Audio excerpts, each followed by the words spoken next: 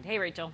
Yes, you said it, guys. Something about that three, two, one liftoff countdown that just gives you butterflies. And knowing that a Valley professor is now up in space, making history and breaking barriers, really serving as inspiration for so many of us.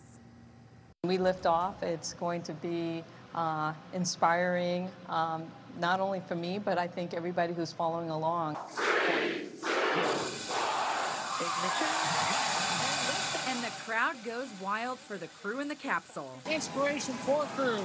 Onboard Dragon and Falcon 9. Eh? A successful launch, and the vehicle is now in orbit.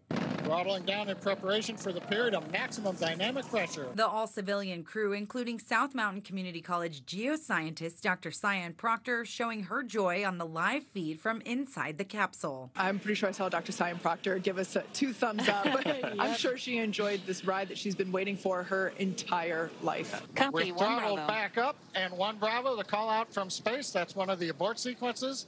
That is a nominal call. Everything continues to be good. The world watching as pilot Dr. Proctor and the other three pioneers give props on board. I think I see some more thumbs up there. Dr. Proctor is clearly excited that she's finally in space. Dr. Proctor is fulfilling her lifelong dream of going to space. Her late father was a NASA contractor working the Apollo missions in the 1960s. She herself was a finalist in the astronaut selection process back in 2009. So now it's mission accomplished as Dr. Proctor becomes the first woman of color to pilot a spaceship.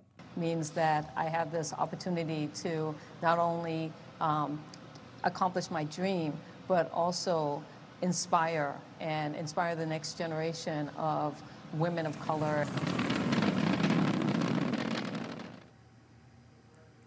Just so cool, you guys. Dr. Proctor and the crew will be conducting several science experiments from space on their three-day mission.